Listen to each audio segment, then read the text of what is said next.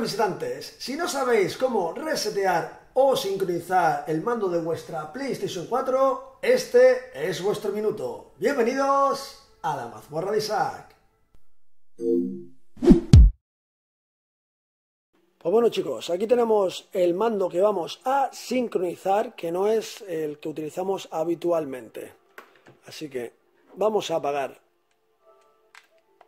la PlayStation 4 y a proceder a sincronizar el segundo mando. Un proceso que no solo sirve para nuevos mandos, sino que también te recomiendan hacer cuando tu mando habitual está fallando de alguna manera. El procedimiento es muy sencillo. Como vemos en la parte trasera tenemos este agujero en el cual hay un botón que debemos presionar durante 3-4 segundos.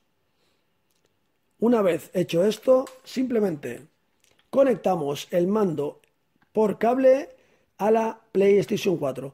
Ojo, tiene que ser un buen cable que permita pasar datos, no solo carga. O sea, tiene que ser el oficial o en este caso yo estoy utilizando uno de Samsung. Si utilizáis otro tipo de cable, no funcionará.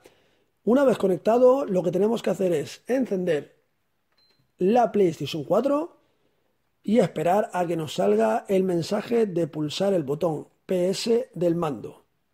Ya nos ha salido el mensaje y como he dicho, lo único que hay que hacer ahora es presionar el botón y ya automáticamente tenemos sincronizado el nuevo mando.